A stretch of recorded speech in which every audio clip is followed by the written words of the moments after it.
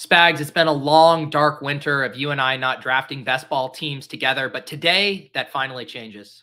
This is what we've been waiting for all offseason. We're ready to hop into a 2023 fantasy football draft. Underdog has 200K up top in their big board, and Pete and I couldn't resist it. So we're going to hop in there right after this very short intro.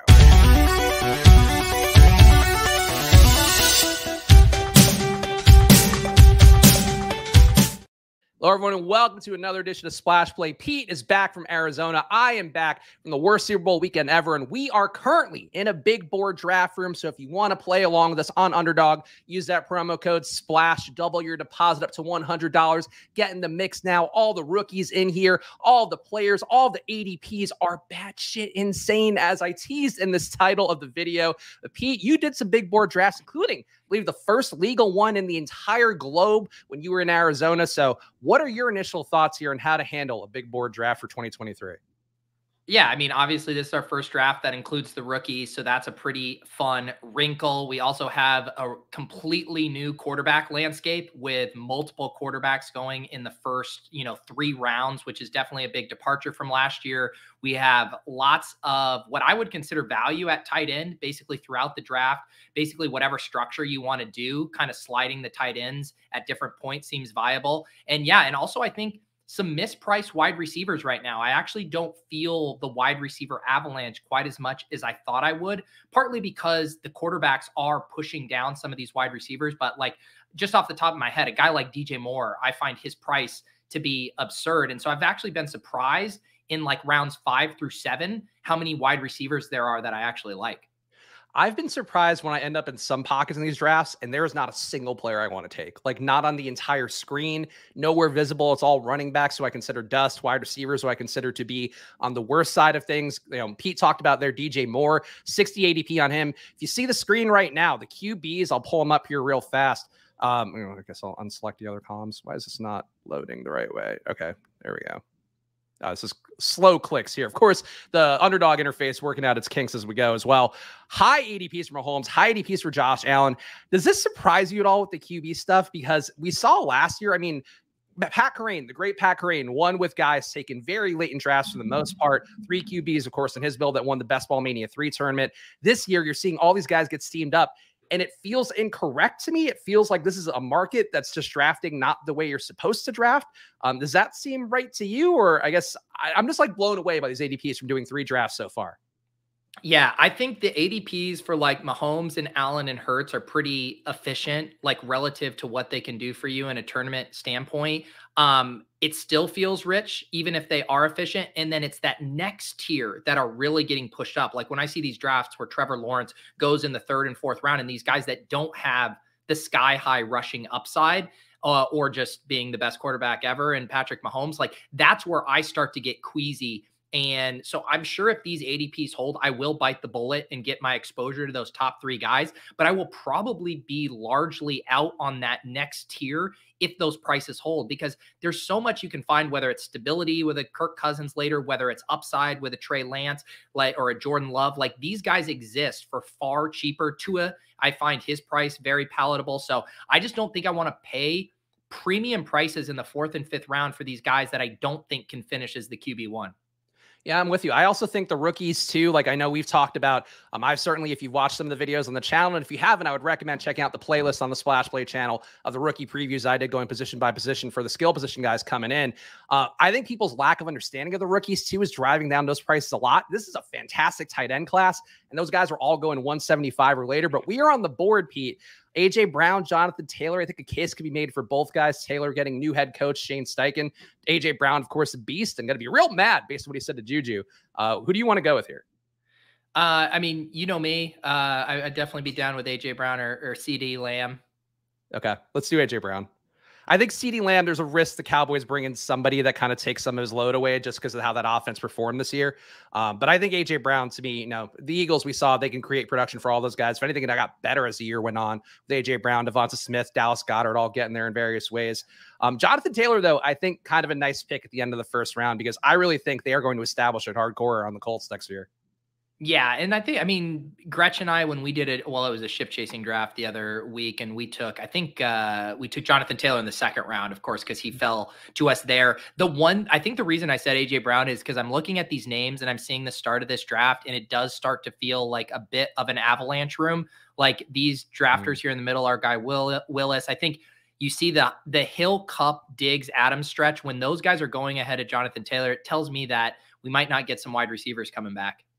I also think to be Tyreek's a little bit overvalued. I think this is the year that Jalen Waddle makes a leap. Like I was looking at some of the advanced analytics. Guy was an absolute beast out last year. Uh, but we have Mahomes on the board. We have Bijan. We have Saquon Barkley, who I will not allow us to take. Amon Ra. Uh, which of these guys stand out to you? Uh Bijan has been kind of the guy I've been taking here. If Bijan too. For Amon Ra, if Hurts was here, I would have maybe said let's just bite the bullet and stack it up. But I, I think Bijan's probably the pick. Yeah, I'm with you on Bijan. Bijan, of course, rookie coming in, going to be definitely a first round pick. Where he goes might be a little bit tough to figure out heading into the NFL draft because there's a lot of great rookie running backs out there. Um, Bijan, certainly the best of them, though. High missed tackle rate looking pretty good. Uh, EPA number strong across the board. Bijan, uh, let me see if I can pull that up 0.396 EPA on pass plays, 0.122 EPA on run plays. Those are both elite marks coming out of college. So Bijan, I think, Pete, I hate taking a rookie this high because he could certainly land somewhere where he's like Breece Hall's fill in until Breece Hall comes back or something. But I think that's where I'm willing to take on the risk because I think he is uniquely talented. Yeah, I do too. I mean, yes, we aren't getting like a huge discount on him here, but I do feel pretty confident that unless he goes to like a true disaster of a landing spot or some team goes wild and drafts him into a backfield that already has an established guy, like say if the Saints took him and it was like him and Alvin Kamara, and you're like, well, yeah, you're not going to be playing a lot of passing downs, whatever. Like I would understand some of the concern, but I think in most situations, Bijan is going to settle as a back end of round one pick. And who knows? I think he has the room to go even higher. Just when you look at how thin it is for being excited about these running backs, right? After CMC, after Ekeler, after JT, like it gets really barren quickly and it feels so natural for Bijan to slide in as that running back four. And I do think he'll be a fixture of the back end of round one. Paul asking, what are some teams that make Bijan a monster year in 2023? And also Dustin saying, just cemented Bijan going to Philly now. I think if he went to Philly, that'd be great if he were the Miles Sanders replacement. But do you have any sort of read on this? Because I think he can go to the Cowboys. I think the Bills are still live to take a running back with Devin Singletary likely leaving in free agency. Uh, there are so many backs that could leave in free agency. And if teams are smart, they're going to let them leave. That I think Bijan can go a lot of places and be a bell cow or be a 1A, 1B kind of back. But I think there's a lot of flexibility for him to get there. Do you have any leans? Um, yeah, I mean, like at the back end of the draft, obviously people have started mocking him to the Bills. I have such a hard time like detaching what would actually be good for fantasy and just being like, God, the Bills would be so stupid to spend that pick mm. on Bijan instead of a pass catcher or whatever. Yeah, I think the Eagles is a good one. Um, could you do you think the I mean the Ravens are a pretty well run organization and they don't blow their draft picks, but Bijan on the Ravens I think would be pretty fun. He got mocked there by Todd McShay today because I was reading that okay, before the did. show. Yeah, so that that's, that's you're not alone in that thought. Apparently, he's one of those guys that, that could go anywhere, and it like because of the draft capital you're going to have to use to take him, especially relative to running backs. Like he's going to get fed the ball pretty much no matter where he goes. Yeah. Um, someone in the chat mentioning Raiders and they let Jacobs walk. That could be fun, especially if the Raiders get Rodgers and then you have Bijan back there. That that would I mean, if he goes to the Raiders in that scenario, he's for sure like one nine, one ten in most drafts. Yeah, I'm with you. I also think so. I have to point out the Saquon thing. I think Saquon is being greatly overvalued in these drafts, and I've talked about it enough times throughout the year. People know my Saquon takes. I know a lot of people out there love Saquon. He's a guy that had the highlight reel plays, looked great in college against my alma mater, USC. I get all that, but he to me is just like a replacement back. Like there's nothing, no negative or uh, negative EPA numbers, excuse me, in passing and rush plays. He's also not great according to DVOA. So there's no metric that says he's great besides volume. And I think these are the backs, Pete, that I've learned to start to worry about a little bit more. And obviously, Mike Davis a couple years ago is not the greatest comp for Saquon Barkley. But if you assume Saquon's going to get 20 touches, if the Giants don't want to pay that contract, you can go somewhere at a decreased deal and kind of end up in a, a bad game of musical chairs for himself. I think there's a lot of ways that he's not going to pay off this price tag. And I just don't think he should be a middle second round guy. Yeah, yeah, it's tough. I mean, I, I definitely he's a guy that I think you want a discount on. I, the hard thing I have that I wrestle with is like I want to be in on this Giants offense just because I was so impressed with Daboll this year. I think if they could add any bit in the pass catching room, whether that's someone in free agency or they draft someone that emerges, then this offense could start to get fun and maybe it takes the pressure off of Barkley a little bit. But in general, I agree with you. His profile, his kind of dropping efficiency, he is a guy that you should be a little worried about. Yeah, and I think there's a lot of these guys that we're going to see here. And I think really the main thing that jumps out to me, besides the quarterback stuff, there are so many running backs that are like name players that are going in the 50s, 60s, 70s. Alvin Kamara, Dalvin Cook, like guys who have had a really tr- high track record of getting drafted pretty highly over the last few years. I think those players, to me, Pete, like I think they're appropriately priced, but I feel like the field's going to steam them up because I've seen so many drafts so far on Twitter. People like, oh, I got Dalvin and like all these, and it's like Dalvin might not have a job next year. Yeah, and I mean, isn't Dalvin going to be getting surgery too? Um, yeah. First time he, you know, he had been playing through this essentially, um, and never biting the bullet and getting the surgery. So that adds another wrinkle. You know, his rehab coming back from that too. So yeah, I'm with you. Um, you're going to want discounts on some of these older running backs who are starting to age out of the league. The one guy though, and we'll see what uh what Mar- Manavan here does in front of us. If Josh Jacobs is there, I think he's one back that I would not mind taking just because I think to sign him, you are going to have to pay a pretty penny. And analytically, he was better than average in every possible metric. Again, the Football Outsiders ones, of course, that I extol, footballoutsiders.com slash subscribe. Always going to look good there. DYAR looked great. His DVOA looked great. His EPA looked great. These are a lot of acronyms throughout there. I wouldn't mind taking Josh Jacobs here, but I also think Justin Fields is a nice value because I don't see how he's going to not be good this year. Yeah, I would do Jacobs because the quarterback, uh, or the team on the turn double tap quarterback, so there's like zero chance he would take one. Um, so I I think I would just pull the trigger on Jacobs, and I I do I do agree. As much as I like some of the depth that wide receiver in the you know fourth through seventh round, this is a dead pocket in the draft for me. Um, I don't like a lot of these names that are here at at cost. Do you like Fields? I do. Okay. How about Jackson? Yeah, I, I like both of them. Um, I, I, all I mean, I'm kind of now going back on what I just said about not wanting to pay the the price um, for these guys compared to like if you're telling me like Hurts in the second versus Fields in the third, um, I start to you know just give me Hurts, but Spidey took two QBs, 12, 12 and 13. Start, yeah. That, Okay. Um, I guess that's where we are. I don't think Amari is the pick for us. Maybe Kittle if we want to get an elite tight end, and or we could bite the bullet and do Lamar or Justin Herbert. Yeah, I also don't even mind scrolling down and taking like a Godwin um, or something. A guy I think he's a little mispriced, but yeah, this is a gross spot.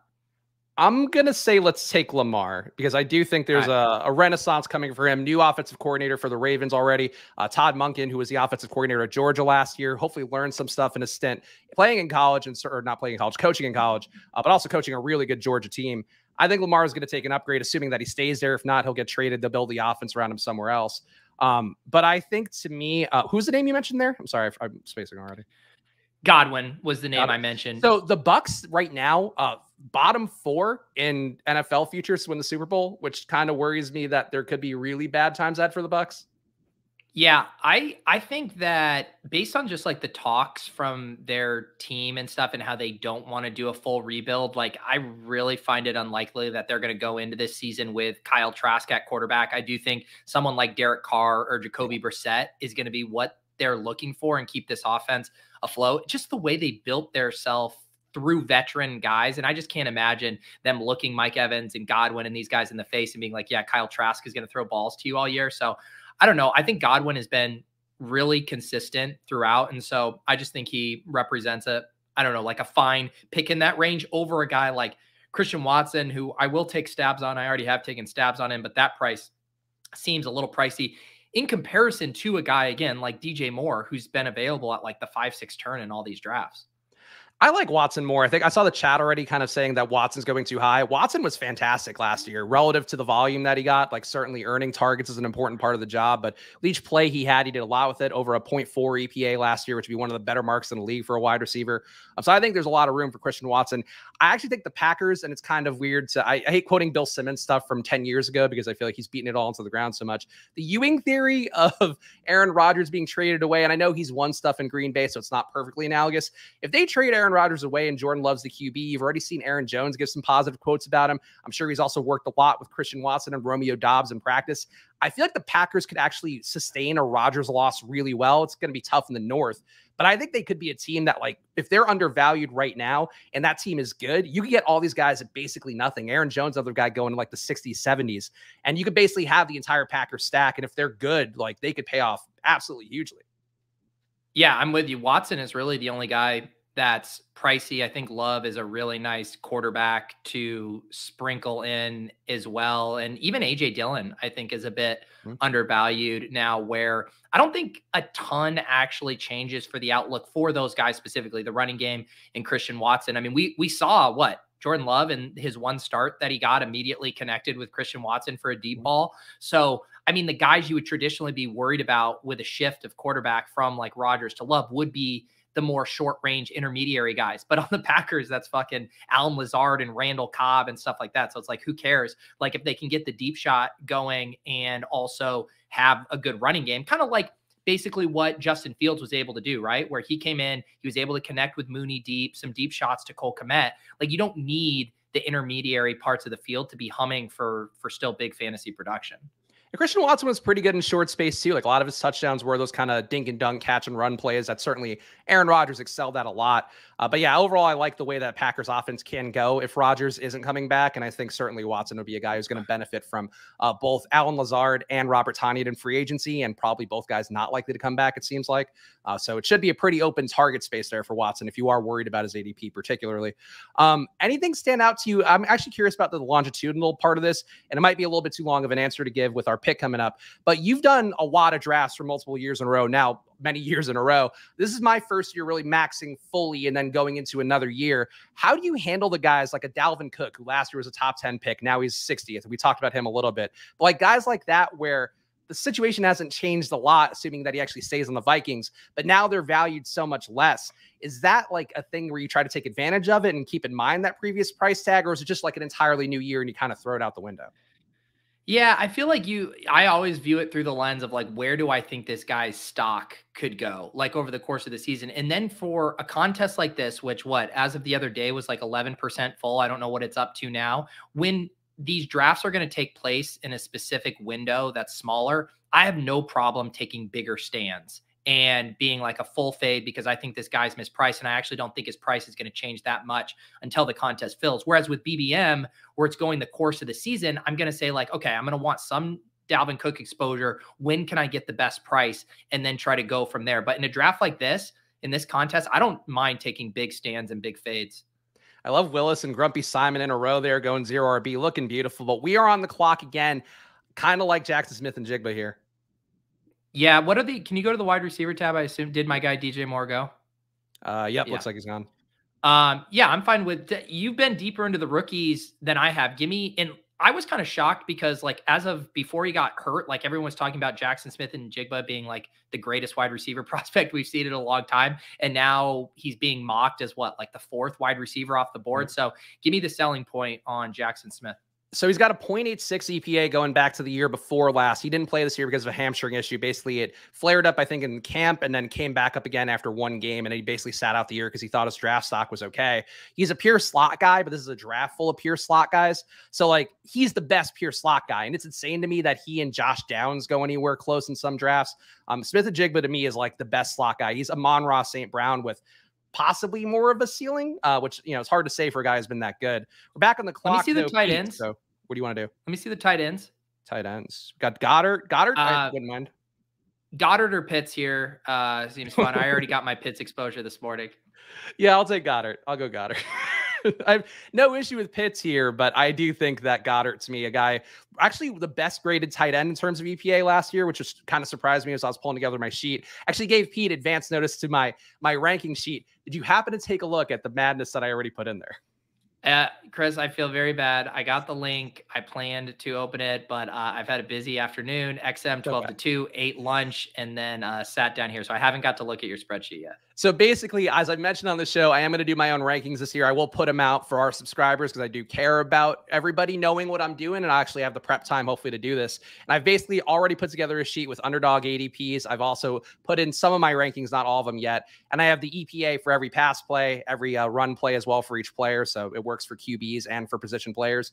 And basically, it's going to help me make a lot of decision tree arguments here where um, a lot of these guys, I think, tend to be volume guys. You get a little bit overrated. I want the guys who are going to be superior players and then try to pair it together with them being in great spots. So I think you actually will like it because you'll know right away, at least with EPA numbers, which guys are good. Uh, but I tried to make it like a quick frame of referencing where I know, like, okay, this is where this guy is. Um, he kind of underperformed, but I know the volume off the top of my head. Um, so that's what I'm hoping will help me out. But it's it's hard because like the ADPs, I think have moved around so much that I wanted to have some sort of check against that.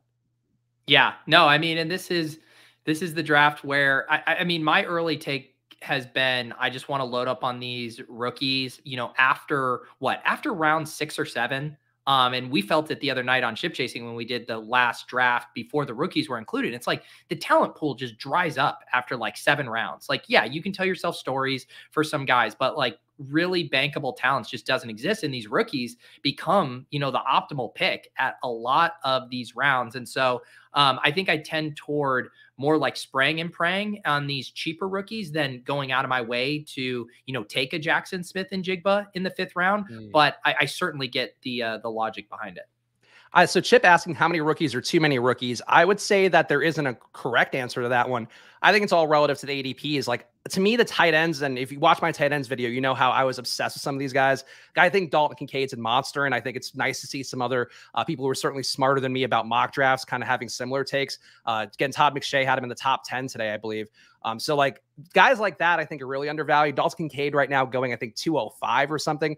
And the issue to me too is I was tweeting with uh, one of the guys who I like a lot on Twitter, uh, but he was like, "Yeah, I'm not going to draft any of the rookie tight ends. I'm going to try to get the guys who are in their second year." And it's like, no, get these rookies because a lot of these rookies are better than the guys last year. Like Trey McBride was an award winner. He was an award winner at Colorado State. You have guys like Darnell Washington played at Georgia. Michael Mayer played at uh, at uh, Notre Dame and was like an elite target getter, and also like played some legit teams. And then there's other guys like Kincaid, guys like Luke Musk, uh, Luke Musgrave.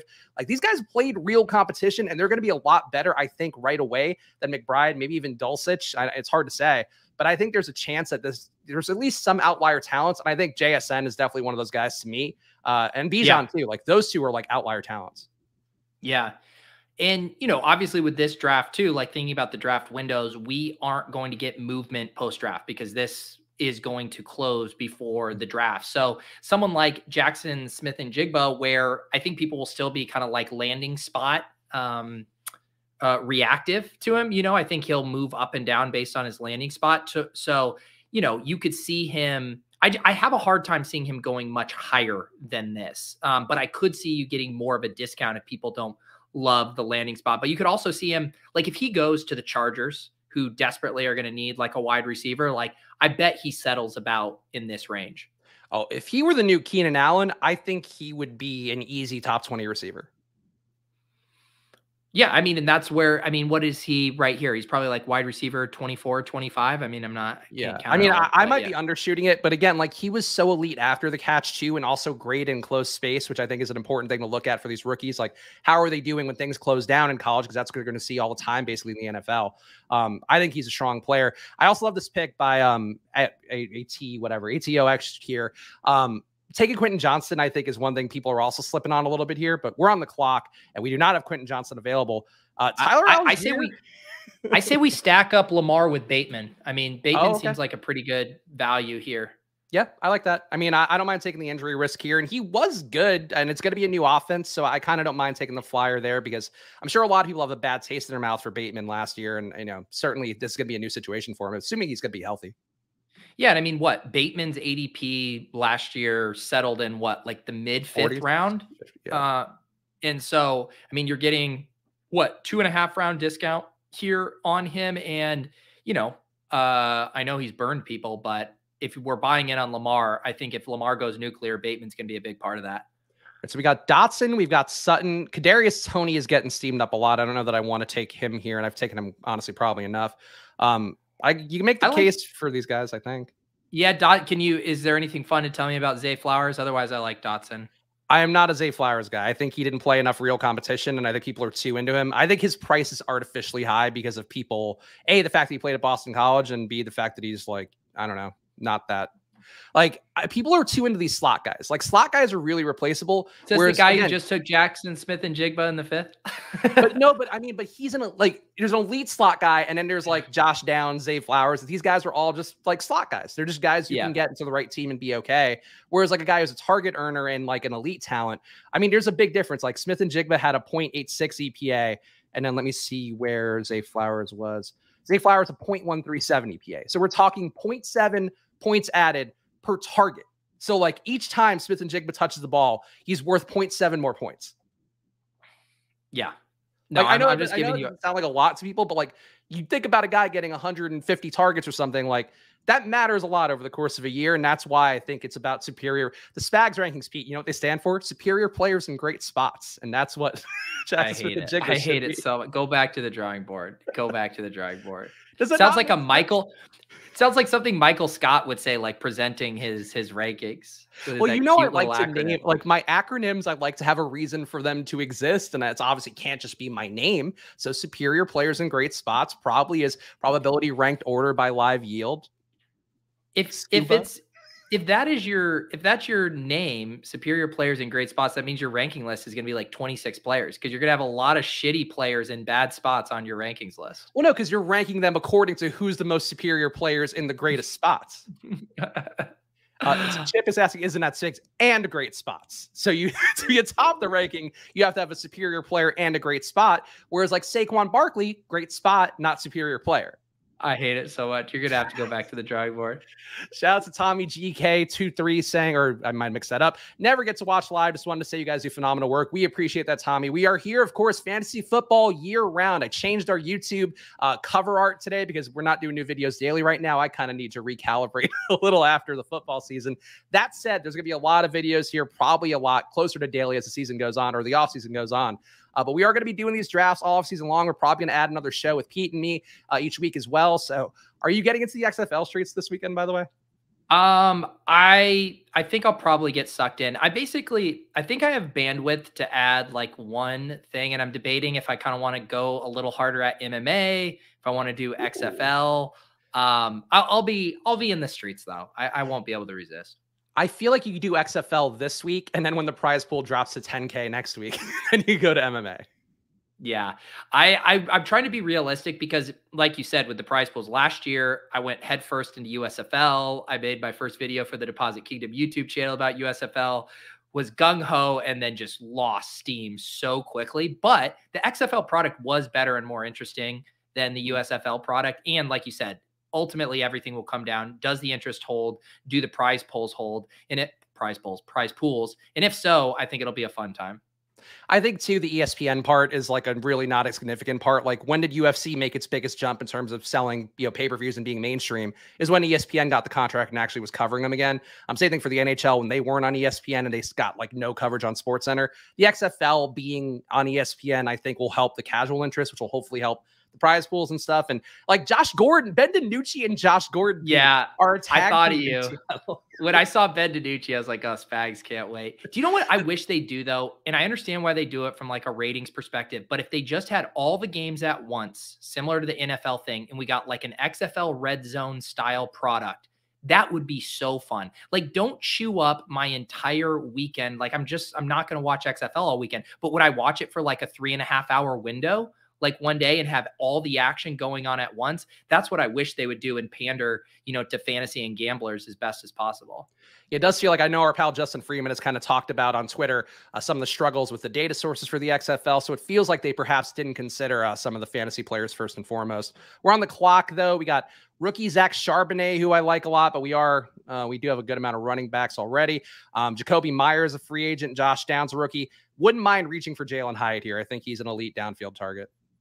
Yeah, I'm fine with that. I also wouldn't mind uh, just doing Freiermuth and being done at tight end, although there is a lot of value late if we want to do three tight We got to take some rookies. I refuse to not take one of the rookies at tight end because I think them going at like 200 plus, again, that's where Bellinger and like Dulcich and those guys went. And Dulcich had the one or two good games, but like wasn't elite week to week. I think that there people are now treating that because of what happened last year with Bellinger and McBride and, and Dulcich to a lesser extent. I think people are now treating these guys the same and they're not going to be the same because they're going to get drafted in the first round. I love it. Love the another summer of, and not to mention like all those. If if you're stoked on the rookies, and then all those second year guys, I I there's a lot of them that I like as well. All right, so we're on the clock again. I wouldn't hate Jakobi Meyers because I do think he's yeah. going to get a good landing spot. Yeah, I mean the it see it would be hard for him to have a downgrade in landing spot. I think with as little as they threw last year and just in that offense. So where what what did Jakobi's ADP settle at last year with New England? Like it was was he like 11th, 12th rounder in most drafts? I mean, definitely late enough where it doesn't stick out. And yeah, I would say uh, he's definitely was less than he ended up being, and he was he was in part of Pat's winning lineup too, right? Uh, yes, he yeah. was. It was him and Tyquan. Yeah, I mean, I think he's going to land well. He's he's probably the best free agent slot guy I would think at receiver. Um, but I unless I, you're counting Keenan, yeah. Yeah, well, yeah. Besides Keenan, yeah. But Keenan, though, you know, getting older, at least Jakobi's still like within the age we want to see. Yeah, yeah. Jakobi Jakobi is solid for what Jakobi does, and he's also run pretty poorly in his career on touchdown expectation stuff. So um, I could definitely see things swinging back for him and having a, a, a big year. Also going to highlight Zach Charbonnet here just because we saw him get drafted. I wouldn't mind taking him, though I do think we're pretty well set at running back for a little bit here. Uh, Charbonnet, 0.221 EPA, catching passes, 0.238 EPA on run plays. He was a monster at UCLA. Also, big bodied guy, could plug into a lot of situations. So he's a running back that I think is undervalued. And also part of why Bijan could end up being a little bit overvalued. guys like Charbonnet are there, um, guys like uh, Roschon Johnson are there very late, who I think looks pretty good. Um, there's a lot of running backs out there who are going to be pretty good in this rookie class. I think one of the film grinder guys out there who does prospect stuff, who's like an NFL network guy, I forget which one it was, was talking about how like he saw 10 plus starters in this rookie class at running back, which I think makes this one of the most interesting drafts times to be doing right now because people don't know that yet. But like the rookies coming in might actually be taking like veteran jobs because of the contract stuff and the fact that teams just don't want to pay running backs anymore. Yeah, and I mean this is this is the range right here, you know? I mean in the summer too historically rounds, you know, 9 through 14. Like that is the sweet spot for all of these 0 RB guys here and with a lot I mean, yeah, guys like Khalil Herbert um and Rachaad White, like I love both of those picks there. I think those are fun picks, but this is if you're going to start spraying and praying on these rookies and you can be like me and not even know uh, what college they went to, but this is the uh, this is the range to scoop them up. I'm also like, it makes me so proud to see Tyler Allgeier go here. like, it brings me actual joy to see him have come up this much. I was looking at some of the numbers the other day. I knew he had the thousand yard rushing year, but we talk a lot about the lack of importance of counting stats. He was actually the best rookie in terms of EPA, like better than Dameon Pierce, better than Breece Hall, had a little bit less volume than those guys, better than Kenneth Walker. Um, he was legitimately good neck last year in a way that I wasn't even aware of as we were living through it. Yeah, uh, no, that's uh, that's fair, and I know he was your little pet. And uh, you know what what percentage exposure did you end up with him in BBM? Uh, twenty three or something like that. Twenty four. Okay, yeah, and he, he yeah, and there, I mean again, the the end for me. And it just goes to show that these guys don't have to be you know highly regarded or highly drafted guys to make a fantasy impact. I mean, he was a fucking fifth round draft pick. And just the way it happens every year, these guys carve out bigger roles. And as long as you pair them in the right room, you know, that you're not taking too many zeros early on, they can supercharge your team down the stretch. I have to say, I don't like the way Spidey started with both Josh Allen and Jalen Hurts. Yeah. He really got a nice four pack of young running backs here with Allgeier, Cook, Rachaad White, Khalil Herbert. Four guys who could have the running backs next to them or ahead of them gone in free agency who also were pretty good last year and theoretically going to get better as they get older. So I would say this is a pocket where I think he absolutely nailed that pocket with Allgeier. Like, that's a really strong four running back crew here of guys who almost inevitably going to be better than they were last year. Yeah, it's just his rookies are what are or sorry, his wide receivers. What does he have at wide receiver? He's got the two quarterbacks. He's got Calvin Ridley, Brown, Jameson Williams. Yeah, so he's going to be feeling that squeeze here. So it'll be interesting to see. I mean, it, it, you put yourself in a corner when you start a draft with two quarterbacks. That's for sure. Yeah, I mean, if he had taken a receiver instead of one of these quarterbacks, he would have been in a actually a pretty nice spot. Well, he could have done well. No, we took AJ Brown, so he didn't have that stack available to him. Yeah. Also, didn't have the Diggs. But yeah, I, I I just can't. That's so much draft capital to spend on two quarterbacks. Yeah, we're coming up here in two picks. Our pal Grumpy Simon, who, if you missed the stream during the playoffs, Grumpy Simon Pete was one of my rivals who uh, admitted in the chat. I didn't. He's never been in our Splashlight community before. Came into the chat to tell me that I pissed him off during one of the playoff best ball drafts, and he was deliberately sniping me after that point. But We're on the clock. Wow, he came back for vengeance. yeah, we got Zay Jones, who I think is not worth it with Ridley in the mix. Dawson Knox, Cole Kmet, Kareem Hunt's a free agent none of these guys really. Can you can you sell me on a guy like Sean Tucker? Can you make me a? a I think I think he's going to be overrated. No, I wouldn't. I wouldn't go his way. Mattison, wow. I would consider in case Cook is not on the team. Yeah, Mattison's fine. Mattison, Mr. Rookie here, I toss out one rookie, and then he's like, nah. Tucker, well, Tucker was a guy who played at Syracuse and was just a volume back who played like, like it's funny when you watch some of the highlight reels and when the guys, all the guys' highlights are like against Mercer, it's like, oh, this is this is not the dude. Sean Tucker's highlight reel is all him playing Mercer and the garbage teams, and against the good teams, there's not a lot there. And again, it's all going to come down to situation. Like I could talk about these guys and what they did in college, and I could look at the SIS numbers, Sports Info Solutions that I am using for all these EPA data points. Uh, but like ultimately, it's going to matter if Sean Tucker replaces Zeke and Tony Pollard in Dallas. Like he's going to be a good play then. Right now, though, he is not a superior player nor in a great spot, Pete. Okay. All right. Thank you. That's going to be my tagline forever. just just to get you. All right, we're on clock again. I don't mind Kareem Hunt honestly because I do think he'll sign somewhere and be useful. Show me the wide receiver tab. Okay. Doubs. Um, I I, I like Doubs and Rondale Moore too. Oh, because wait, oh, we didn't take Watson, but yeah, let's do Doubs. Yeah. Yeah, I like that. I think honestly, the Packers being a young offense with Jordan Love, like I think they actually have a lot of potential to make a run in the next couple years. Like the contract stuff's gonna be weird because they're gonna take probably a, a gross cap hit if they have to trade Rodgers. But I think that they have a nice little core, and people don't realize it because they just want to bury the Packers and bury Aaron Rodgers and all that. But like Doubs was pretty good last year. He was, and I think just because Watson came on so strong, because Doubs uh, dealt with some injuries, and because Rodgers is likely going to be gone, that he's flying under the radar. But talk about a guy who I could see jump a good bit as we get into draft season, training camp, buzz, all that stuff. I I think Doubs feels to me like he should be more of like a ninth, tenth round pick, not a, a 12th. Target pointing out that Mattison is an undrafted free or uh, unrestricted free agent. Excuse me. Um, yes, he is, but I, I think that some of the reports out there that they might cut uh, Cook to make some savings and then cut a longer term deal with Mattison. So that's one thing there. But yes, there's there's like so many free agent guys. Like Miles Sanders is a free agent, Jacobs is a free agent, Barkley's a free agent, Kareem Hunt's a free Pollard. agent. Pollard's a free agent. Like that's so many guys out there with a loaded rookie class that these guys ADPs could swing wildly by the time June rolls around. Yeah, no, it's uh the that I mean the all of these free agency classes um aren't that interesting except running back is a fun one and for like draft purposes as well. I feel like the running back class is always the funnest too. So a lot of backfields. I think we're going to see some fun shakeups. So the first mistake I made, Pete, with the Spags rankings, uh, Romeo Doubs apparently a negative 0.11 EPA player last year on pass plays. So we did draft a negative player there who did not create positive value. Oh no, I'm uh, the, everything I thought I knew has been shattered. I'll I'll I'll ask Underdog if they can throw this draft out for us because we didn't follow the Spags rankings. Do you think, by the way, that um that they should start throwing the drafts out where people are taking five to eight to ten QBs in drafts? Because I've seen a lot of those on Twitter, and I think our pal Neil Orfield over at Stochastic uh really is tilting about it on Twitter more than others, and a way that I appreciate him advocating. But do you think that should be the case, or do you think they should just let those drafts lie and whatever happens happens?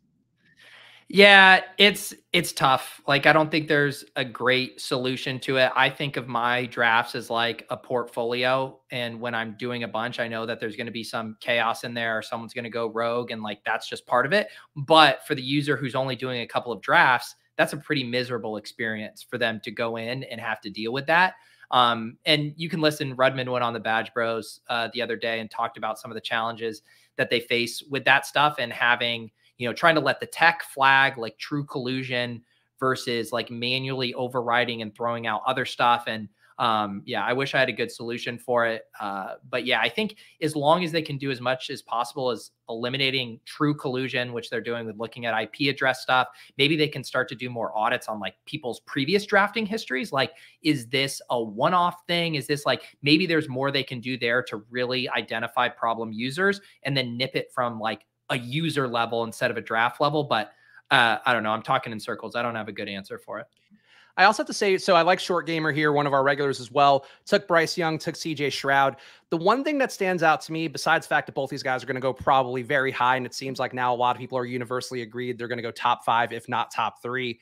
Um, I think that Stroud in particular, and, and Bryce Young too, because he's not a great runner. That people see the Kyler Murray kind of physicality and assume he's going to be a great runner.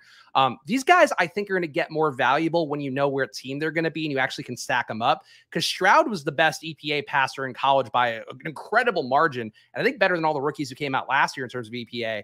And I think like if you know his targets, like if you know he's going to be on the Raiders and he's going to be with Davante Adams, I think Adams and Stroud then is the stack you want. And I would kind of worry if you have Stroud here naked that I just don't think you're getting the full, like the full birth of what he's going to be potentially. Yeah, um, I haven't dug into the quarterback prospect profiles quite as much as you have, but both these prices seem just a teeny bit rich to me. Like really? even taking these guys over uh, a Kenny Pickett. I mean, is Trey Lance still on the board, or did Trey Lance go? I believe so. Yeah. Oh, let's see. Uh, no, no Lance he, he must have gone. Oh. Brock Purdy I is guess, though, the real starter. I guess it's just sticker shock to the overall price, but everyone's getting shoved up so much that I guess with what was available on the board that I don't mind it. It's just like thinking historically where these rookie quarterbacks have gone. Like when Trevor Lawrence was a rookie and that whole class, you know, the Fields, the Lance, like those guys were all going later than than these guys were going in these drafts. So it just might be the whole drafting landscape that I need to come to grips with. Yeah, I just think the rookies, like the rookie QBs at the top level, are really talented. If Will Levis got steamed up here, I would tell you no. Like, I, I don't think that that guy is good. Um, I do think Anthony Richardson is greatly undervalued, but we are on the clock again. We have a one three seven one build. Um, Tyjae Spears is probably going to be somewhere good. McKinnon's a free agent. Mostert's getting old. Mitchell, I don't know. I like Mitchell or the rookie if you can sell me on Spears. So Spears, positive EPA guy, played at Tulane. Um, also good camp, uh, good Senior Bowl reports, I believe, from what we had uh, from Football Outsiders. But let me pull up his numbers here. Tyjae, 0.202 EPA on pass plays, 0.16 EPA on run plays, both positive numbers for sure. Um, and towards the higher end. So I think Spears is in a good spot. And to me, he's one of those rookies that I have no idea where he's going to go. But if he lands somewhere as a replacement for a bell cow, he's probably going to be better than that bell cow was. Yeah, um, I, I, like that we we had to mix in at least uh, another rookie running back here along with Bijan. So definitely on board with that. What's our structure right now? One four seven one. Yeah, so we should be starting to think about quarterback stuff with how thin that got. Um, what are what's the quarterbacks available? Well, we could still take Jordan Love. Oh yeah, I think we like. Yeah, I think Lo- Love with our already Doubs pick, I think makes a ton of sense. And again, Anthony Richardson here. So I know a lot of people think, and even Jim Irsay uh, gave a quote saying that, oh, that kid from Bam was looking pretty good. I kind of think it's going to be misdirection and they're going to take Anthony Richardson. Um, but that's neither here nor there. Richardson to me is the best guy relative to ADPs um, in terms of the rookie QBs. Uh, we are on the clock though. Oof, this is a tough room. I think we just take love. I mean, there's okay. been enough quarterback runs, and we're on the backside of the board here where we don't pick for a while that I wouldn't want to get shut out and have to take like two after, you know, Tannehill or whatever. Okay. All right, he's there. We go. There goes Jordan Love. So I think he's undervalued. Like, d- there's no way Rodgers comes back to Green Bay at this point, is there? I think it's very, very slim. There's been so many negative media reports about it now, where it's like clearly the team is putting some stuff out. Like, I just don't think they want him back, and it doesn't seem like it's for the best of anybody involved. No, it doesn't. Um, the, you know, the other quarterback that looked like a decent value to me there was Sam Howell. Um, I kind of oh. like that price if he's going to be back here in the 15th, 16th round. Yeah, it does seem like the commanders are committed to giving him a start. We'll see what they do in the draft, but I have no issue with Sam Howell. I mean, we, we liked him coming in. Like we made some jokes about him looking like a guy who would have followed me back in the barstool days. But I think besides that, he, he looked good in the one game. He was a gunslinger in college. I think he would be a fun addition to the NFC East, if only because uh, he's so far behind everybody else in terms of pure talent and ability to actually produce on the field. Yeah, I mean, in the one the one game we saw, he looked incredible. So I I have hopes that he can uh he can do it. Also, didn't we take Dotson? Yeah, so that would be did oh. we take Jahan Dotson? did we? I thought we we might have passed on him for. No, we did. Yeah, yeah. So like, Howell would be a fun third quarterback with this build too. Oh yeah. All right. I guess we missed him. I, I think Love makes more sense.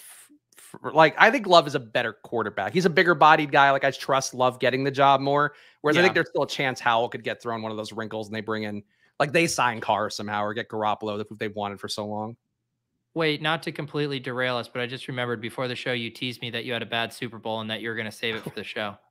Oh yeah, so I uh, so I asked Pete how his Super Bowl was. Obviously, you saw Pete over at the Underdog House having a great time. Uh, Pete, my Super Bowl, and I, I, hate talking about things like like bodily functions. Like, yeah, sure, farts are Uh-oh. funny and all that, but like, uh, I don't think that's my brand of humor. That said, Pete, I have never vomited and shit my pants more over a five day window than the Super Bowl weekend because we had a stomach bug and might have had two circling stomach bugs at the same time. Alex was sick, I was sick. It was worse for her because she was watching the Super Bowl and then the Eagles are her favorite team and the team she grew up with and they got smoked and she was also dying but like couldn't eat any food over the weekend was like dying lost 13 pounds of water weight over the course of those five that days. That is so much. yes. So, so yeah, Pete, that's the joys we get of childhood here, but it's been going around this area. So there actually is a good chance a lot of Eagles fans uh, were suffering from the same ailment that we were while also dealing with the Super Bowl. Dude, I am uh, I am sorry to hear that. And then when when you layer we haven't had it happen yet, but I know it's inevitable. But just mm-hmm. layering on uh, the sickness with also having a young child just sounds like the absolute worst. Yeah, because the thing is, like, you got to keep taking care of them. That's the tough part. And then that's what they say. Yeah, like Luca was throwing up at, at one point. He didn't get it as bad as us, but it was just like a tough combo. Like I had, I've had my first real meals like within the last 24 hours. Um, so it, it is not a good time. And it was just a funny contrast where I'm like, oh, Pete is out having a great time in like studio setups and like just underdog beers and, and Los Dos tequila. And I am here. And if you put that in my mouth, it would have gone. I I do not. I don't want to imagine it, but I uh you know I, I apologize. And the fact that the the uh, the hometown Eagles for you couldn't even get the win, although maybe the rioting in your nice suburban neighborhood was a little less than it would have been otherwise. I was I was happy about that part, though. I did make a pledge to, to Alex and our Valentine's Day card that I will no longer root against the Eagles in championship games because I was doing it perhaps a little actively, and uh, she didn't feel great about that during the game, especially in the second half uh, when it resulted in me going down to the basement to watch the game, and then that led to Patrick Mahomes having a touchdown or a score on every drive. I remember when Lauren and I had first started dating, and she was a big Patriots fan, and that was when they had the Super Bowl against the Giants, and you know that was the David Tyree catch. I think that was 2008. Um, and so, like me, you know, tried to be like a nice boyfriend, and uh, but secretly just hoping for the Patriots to lose and just loving every second of the David Tyree catch. So you got to be careful navigating those scenarios. So DJ Chark, free agent, who's going to be I, probably one of the best outside guys. Rashad Penny. I like I like Chark. I think okay. that seems he could it's definitely like, get an upgrade what did he do that like Rashid Shaheed actually did some stuff? DJ Chark did nothing. I, I would do Tyquan Thornton over Shaheed. Really? Oh man. Yeah. What's your rank? Wide Chark, Shaheed, and Thornton? It, how it's their ADP. Okay. Oh shit. Oh, we got Brock. No, Purdy. Spags. Our first timeout of the year, Brock Purdy. Is that a bit? Did you no. do that on purpose? Well, I'm do you know how to use the queue? The interface has Jesus been a little Spags. bit sluggish for me today, and I clicked it and it did not go. God damn it. You're over there talking about Rashid Shaheed. You can't even click DJ Chark in the queue. Oh, now he's gone. Uh, I guess I got to take Rashid Shaheed. Uh, no, you can take Tyquan. No, you're going to take Tyquan Thornton after this as punishment for taking Brock Purdy. All right, that's fine. I mean, look, you got to snipe the Brock Purdy fans out there. I think you're sniping yourself. I am. That's a wasted pick. It's yeah, but it's 20 rounds. Whatever. We got a couple freebies. Disgusting. I agree that was an error, Pete. But again, it's just a little, a little slow, a little finicky today. Yeah, the chat. Let Spags have it. It's going to be a long off season of auto drafts, failed picks. Normally, it's going to be me, um, but this time it's Spags messing it up. It happens. And now this the shitty part too is now we I can't talk you into 20th round or 19th round Anthony Richardson because I think he's going to be the guy that produces from day one. Like so he's as a runner, Pete, he grades out better than every running back as a QB. and he's got a, like a 38% missed tackle rate. Um, not a great thrower, so that's going to be a hurdle. That's why I want him to go to the Colts because I think if Shane Steichen rubs whatever magic dust he rubbed on Jalen Hurts on Anthony Richardson, he is going to be Jalen Hurts faster than people realize. Um, Spags, it's it's a great sales pitch. It's uh, unfortunate that you fucked up this draft and we can't take him. Well, the good news is we have a guy coming off of a UCL tear who George Kittle said, by the way, he should be a starter or should be the starter. I saw that. Feels I thought like that was like a that's kind of a crazy quote for him to come out and say this early in the process that it was his job to lose. That I definitely raised my eyebrows at that. Not saying I that he's like not he wrong for the locker room, yeah. Yeah, but just that he would kind of come out and say that when the front office has been like, this is gonna be a quarterback battle between Lance and Purdy, but uh, it seems like the locker room has their their favorites already. It bums me out because like Lance was a guy too. It's not like he wasn't there when he was hurt. Like we saw him on the sidelines, like he was involved. But I, I think that's a pretty strong that's a pretty strong indoctrination, I think, of Trey Lance, which I still love Trey Lance. Like, I'll hold the candle. If he somehow gets traded to Tennessee, like, I'll be right there for it because I think they'll run him 15 times a game and we'll see what he's got. But I think, like, I think the Niners do not trust Trey Lance, which sucks because they're a really good team. Yeah. We'll, we'll see. I mean, if they, by their actions, we'll know how much they trust him, right? Because if they don't bring in a third quarterback and Purdy's, you know, rehab isn't on schedule, they're almost de facto saying like, yeah, Trey Lance is going to be our starter week one. Um, so I don't know. I feel like their actions will tell us. Lance is legit proved nothing in the NFL. I think that's a fair point. I mean, I will say for Trey Lance, I again I was pulling these numbers.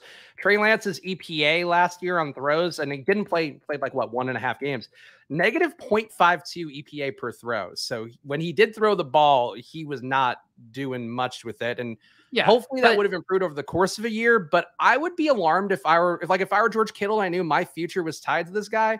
It's like okay, you you played and like you did nothing, and then Brock Purdy comes in and he's a nobody, and he made it a lot better for him. Yeah, but you can do that argument in the small sample size with any of the rookies. CJ Stroud, you can do it with Sam Howell, you can do it with Jordan Love, you can do it with Trey Lance, you, you, can do it with Desmond Ridder. Like there is some, you know, leap of faith that you're taking with these guys, and we're ultimately just drafting profiles of the guys who can theoretically put up big fantasy seasons. So it's always been a leap of faith with Trey Lance. Um, I don't think anything has really changed. Uh, I'm also seeing, by the way, that Rashad Penny went last round. Rashad Penny, I'm going to point out, um, one of the best EPAs in the league for a guy who had a starters level carries for some amount of games, 0.2 EPA on run plays last year. He's a free agent. I think Rashad Penny's one of those guys where if you're negotiating with Saquon and Saquon asks for 15 mil, you go, I'll sign Rashad Penny for three mil and be really happy with that. I think he's going to land in a really good spot for that reason because he's like a really good lever against the guys who are probably going to want too much money. Yeah, I was I was curious because I hadn't heard much about Rashad Penny lately, coming back from that ankle injury and kind of where he was at. But I assume he's what he's supposed to be fully fully ready by the time training camp starts. It's just crazy that he's this low, and yeah, I think he'll be full ready. But like Breece Hall is not getting discounted, and Javonte Williams is like the Breece Hall ADP. I think is the biggest mistake ADP right now in an entire draft board. Uh, I, I guess I kind of disagree with that. And people have let me know that the Javonte Williams ACL tear was a much more significant one than the standard, and that there was uh, tears in multiple spots with his meniscus or whatever the Twitter doctors say about it. So I guess I understand why there's a bit of a gap there, but I don't know. I don't I don't mind the Breece Hall price. I mean, I think he should be like going right around where like Barkley's going. I guess he he would have been a first rounder then if he didn't tear his ACL. I think so. I think he would have been a top five pick if he played the whole season last year. I think he was about to scorch the earth. Okay. I, I, I guess I could see it. I just like I don't want to take a guy coming off an ACL tear at a running back position where they're probably going to draft somebody or or sign somebody who could take enough of a share. Like I just don't think you, I don't know how you get the return on Breece Hall with where he's going if he is going to be slow to ramp up or or even miss like the first month of the year. Um, but I haven't heard heard anything that's going to be bearish about his timeline coming back.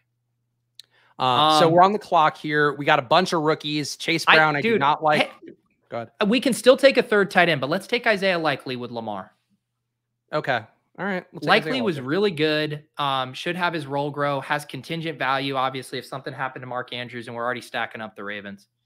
GA has watched enough of these streams. This is a batshit take. I draft I draft recklessly.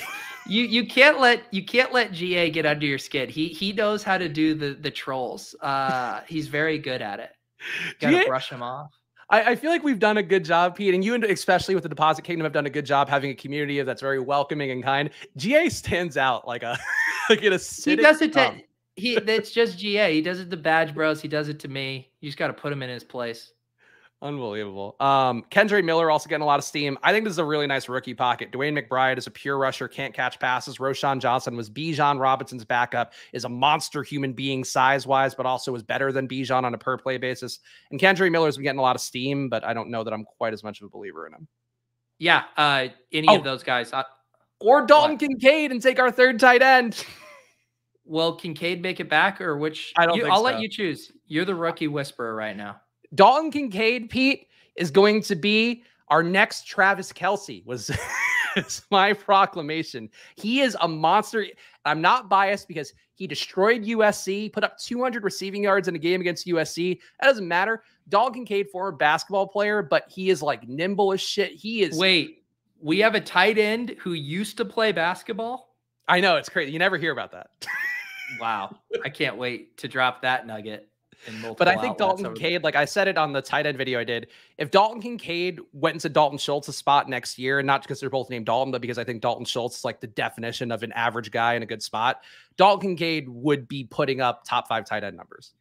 If I didn't know that he played basketball, I would for sure say that's the most lacrosse sounding ass name I've ever heard in my life. Dalton Kincaid. I mean, if that guy doesn't wear Abercrombie, I mean, color be shocked. He he also like looks exactly like I think you might be thinking. Let me see if I can pull a photo here. But I remember because I pulled up a headshot to do the video. Oh, here, I'll share this screen real fast. I, I uh, can't wait to have.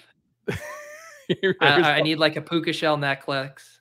Okay, yes, this is this is total Dalton Kincaid right here. But he is like a monster. He's like six four, um, so maybe a little bit more dulcet size than you would like to see. But I think can be uh, like good muscle on him, so I think he'll be okay on that front. good muscle on him, he says while hovering his mouse over his bicep. Pete, this is what it means to be a draftnik. You got to objectify men. You got to be weird about their body.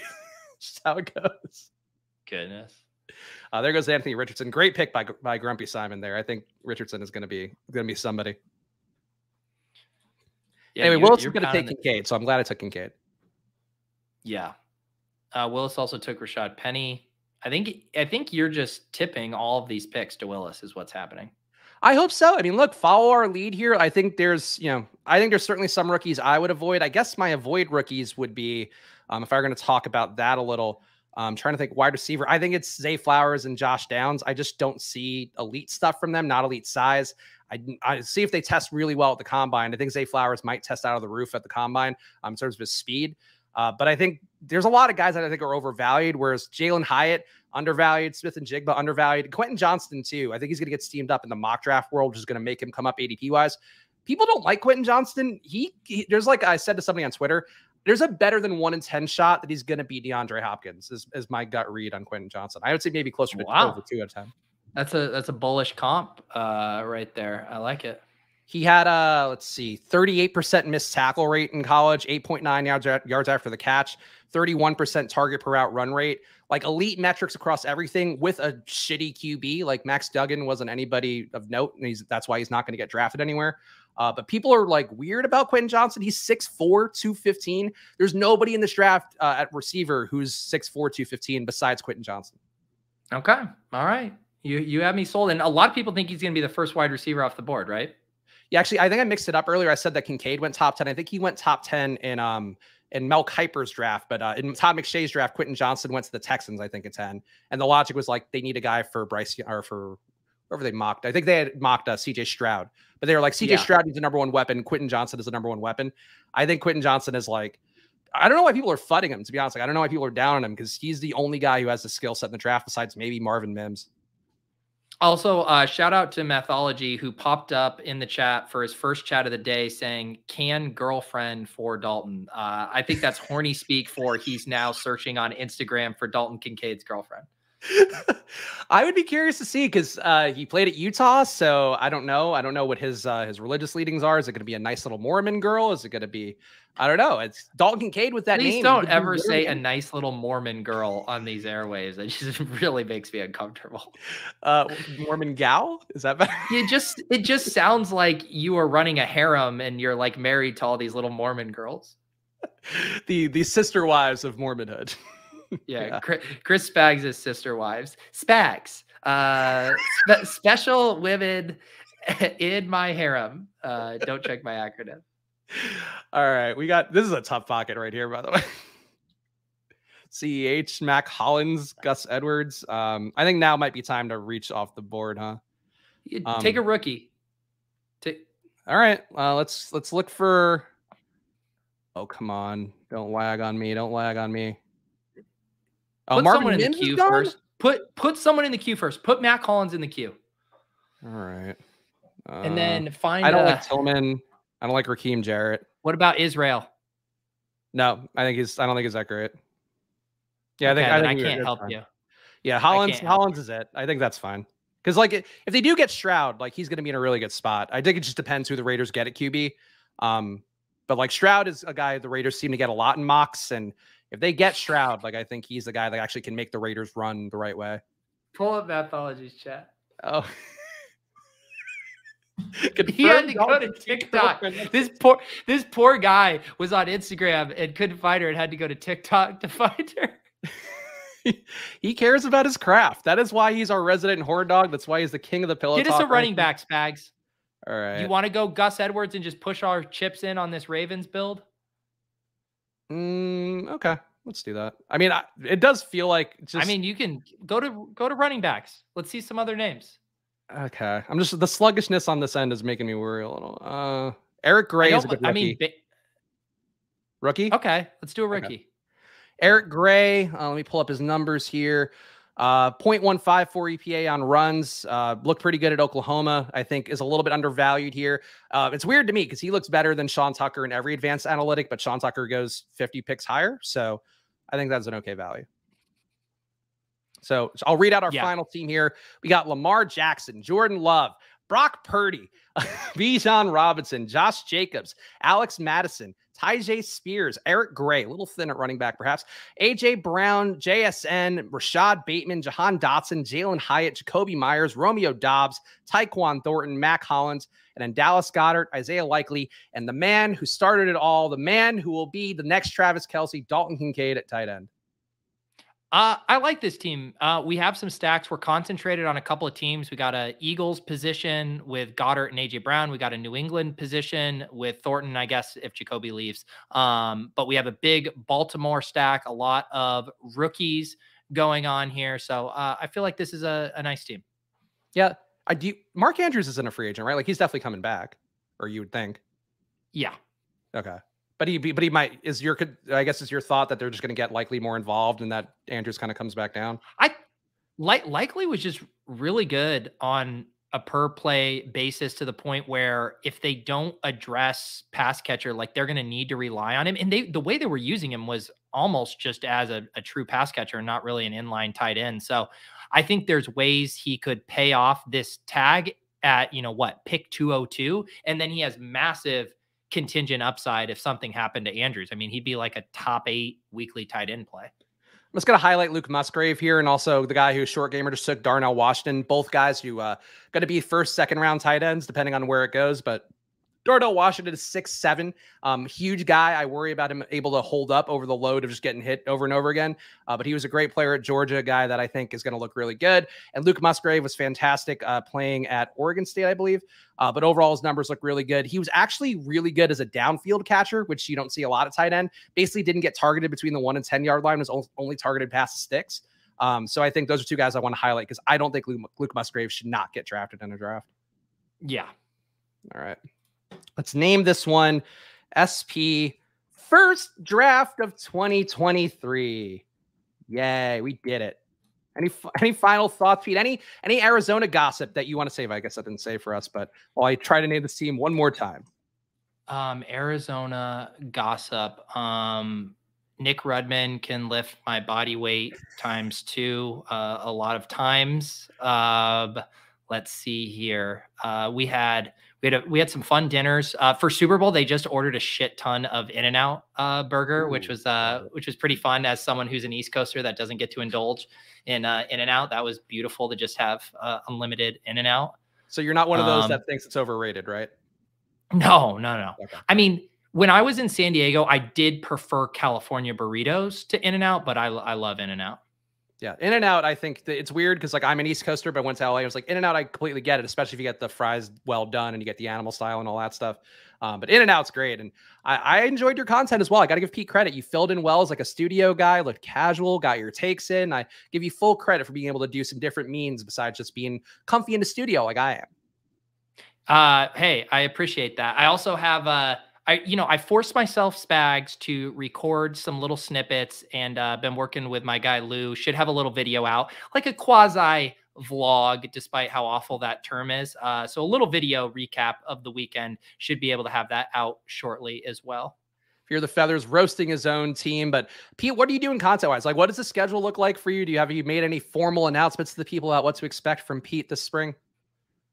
Um, no, uh, I think uh, I did mention on Twitter. Someone asked me. I am going to bring back Best Ball Breakfast on Monday. So I had I like doing those Monday morning shows. Did the GPP review, obviously in season last year. I think I waited until Best Ball Mania launched to do um, best ball breakfast, but you know, we're all having fun drafting. So I'm going to fire those up on Monday mornings at 10, try to get that rolling. Um, otherwise, like next week, I'm off for fantasy life. The whole kind of uh, operation is mm. shutting down for the week. So, you know, start working on some little projects. Maybe I'll try to record some TikToks, you know, just uh, enjoy my time off.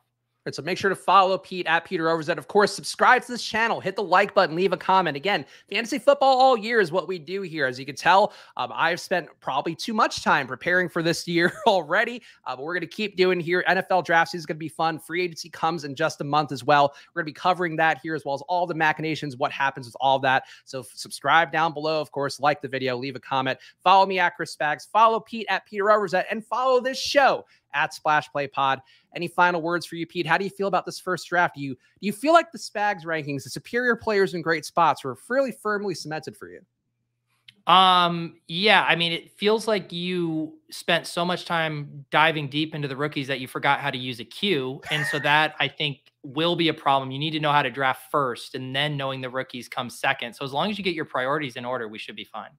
All right, so we're gonna keep doing these. Pete and I will be back next week at some time. Um, not on Friday though, because I'm gonna be on Luca duty. Uh, Alex is going out of town, so uh, stay tuned to the channel. I'm not sure we'll have some shows coming up here, but probably more of me doing stuff in the afternoons and all that. Appreciate each and every one of you guys for hanging out here, and we will see you guys again soon. So good luck on the big board.